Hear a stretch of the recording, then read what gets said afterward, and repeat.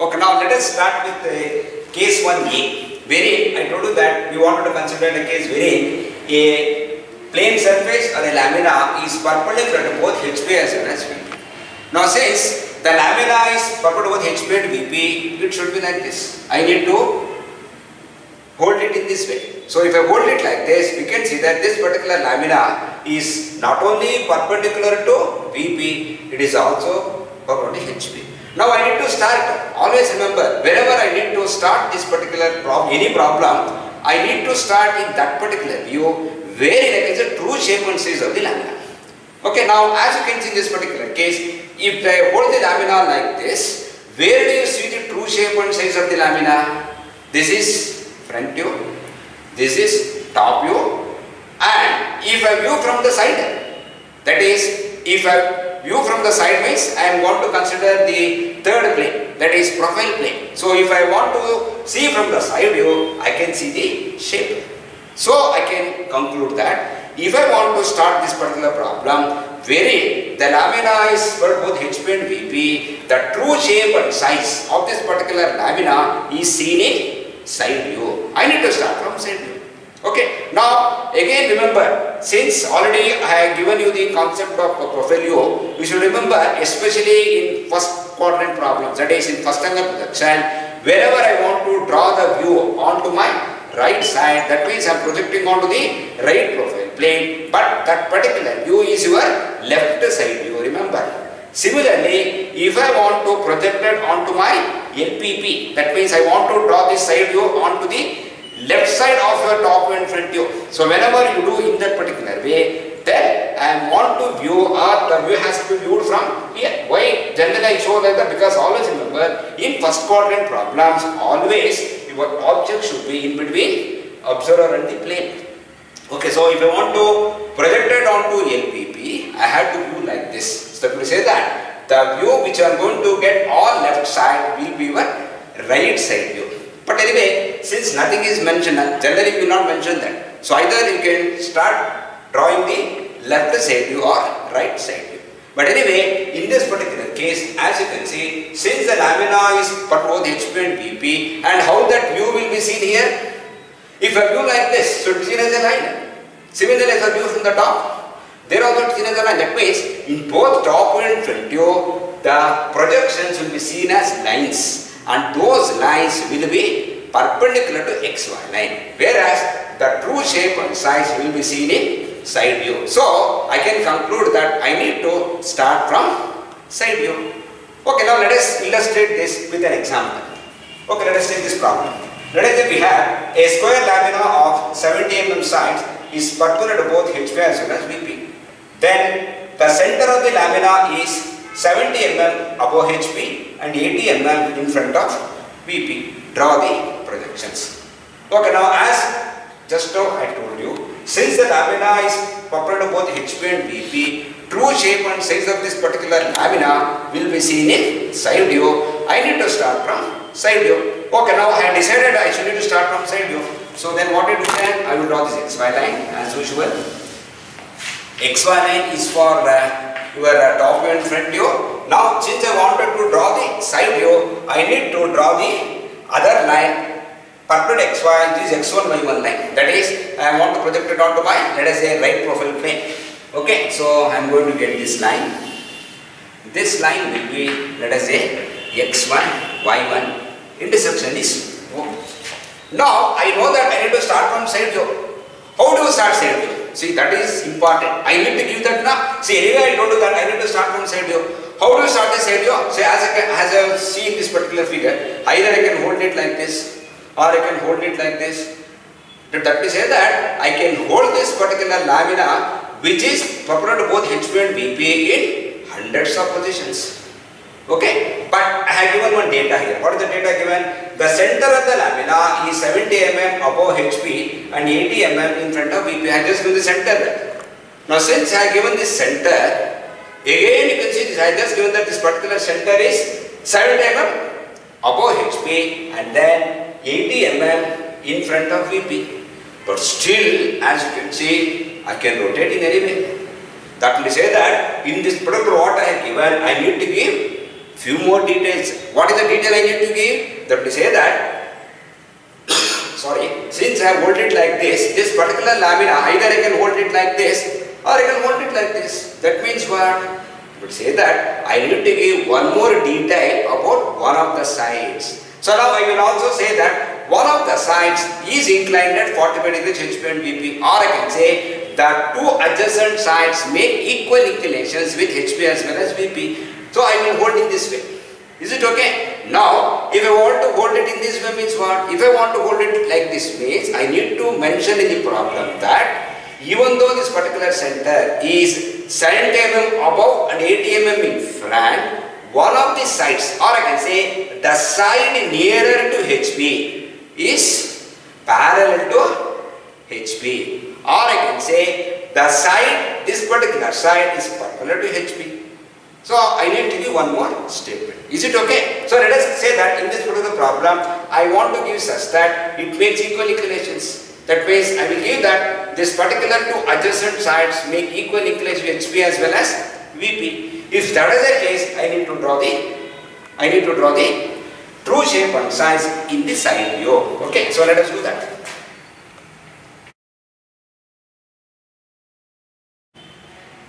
Okay, now I just written the square and as given in the problem, the square of side 70 mm. So that say that this particular side should be equal to 70 mm. Then I have given the center of the lamina is 70 mm above HP. You would say this is center, no, that is a center is O. So this I have taken as 70 mm and it is 80 mm in front of VP. So that we say that this particular distance I would have taken as 80 mm. Now since I have given these dimensions, now since you wanted to do this drawing on a drawing sheet, what you do is first draw this particular square, 70 mm square, okay. After drawing this particular square, you locate the center. After locating the center, you take this distance as 70, then draw this xy line, then take this as 80, then draw x1 y1 line. Because see, once you draw this, then to arrange this, it is a problem for you. Because you can draw the square, but once you know the center, from the center only I should have 80 mm now. Because remember, in the scenario, OX1 represents VP and OY represents HP. So as you can see, I have just written the side. Now I need to name them. Let us say I start naming it. So remember, so what is the naming I should give? Since it is the scenario, I should again write everything in small letters but with double dashes. Okay, so relate A double dash, B double dash, C double dash and D double dash. So side view is over. Now I need to draw the corresponding top view and front view. Okay, what about the corresponding top view and front view? As I told you, since the lamina is perpendicular to one of the planes or both the planes, it should be seen as lines there. And always we remember, the front view will be in line with front view. I mean, uh, front view is in line with side view. Whereas, to draw the top view, I should need to transfer this VP distances. So what do we do then? I will draw this 45 degrees line. Okay, so let me draw this projectors.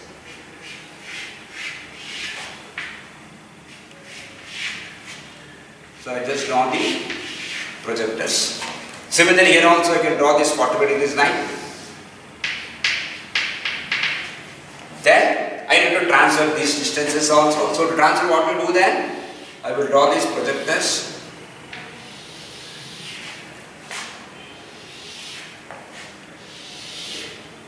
I have drawn these projectors. Remember, all the projectors should be as late as possible. Now the next question is, where do you show that front view? Where do you show that front view? Here, here, here, here, where? Since nothing is mentioned. Generally, if I mention that this particular lamina is at a distance of, let us say, some 30 or 50 mm from RPP, if I mention that, then what you do then? If I say that particular distance is 50 mm, then you would have taken 50 mm from this x1 y1, then I would have got the your front view top view. Now since nothing is mentioned here, since nothing is mentioned, I can place this front view and top view which are perpendicular lines at convenient distance from x1, y1. Okay, let us have indicate here.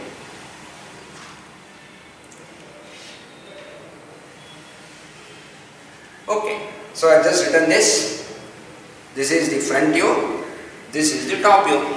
Now again I need to name them now. Okay, now if I want to name this figure, which is the reference figure for me? All since it is an ortho projection, always the observer should be perpendicular to the plane.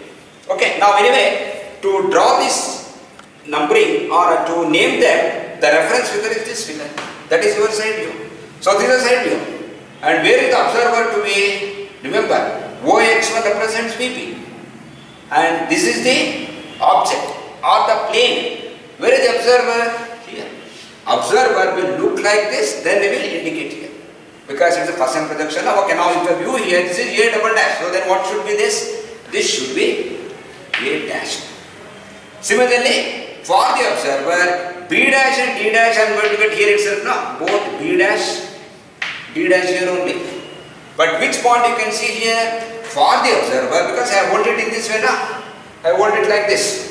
If I hold it like this, as you can see, I can see only the point which is nearer to the observer, that is B. Now since I can see B, B should be a visible point. What about D dash? It is away from the observer, it should be brackets. Okay, now finally C dash.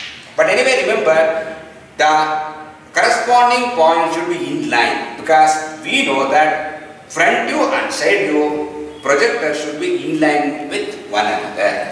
Okay, now similarly I need to draw the corresponding top, but anyway we know that A dash A, everything should come on this line only. But again, if I want to name them, same analogy.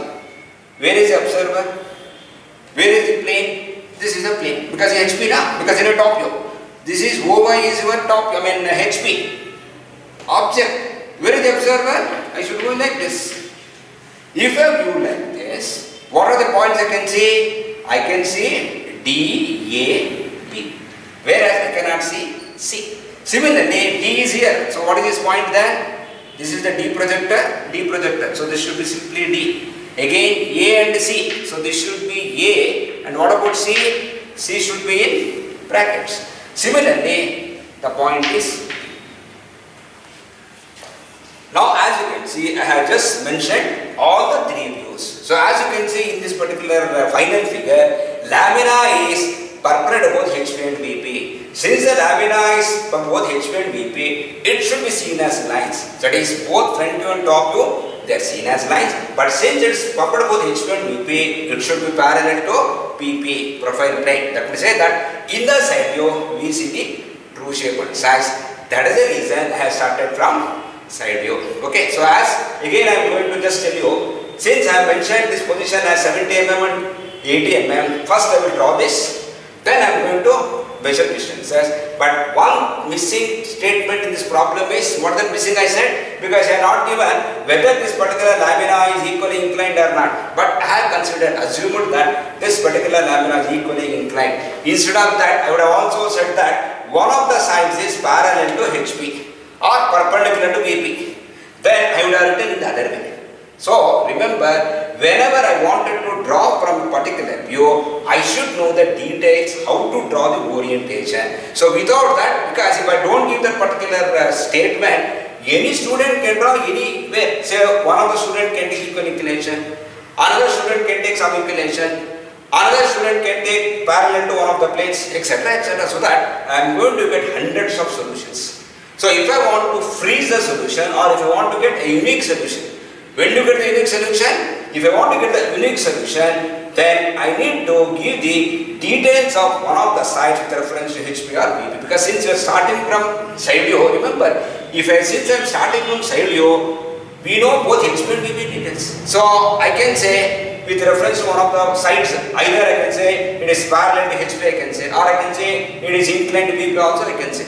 That will say that I can give either HP or VP details here. That is the side view. But remember, if I want to come to the top and front view, remember in the front view, we know only HP details. And whereas in the top view, we know only VP details. Thank you.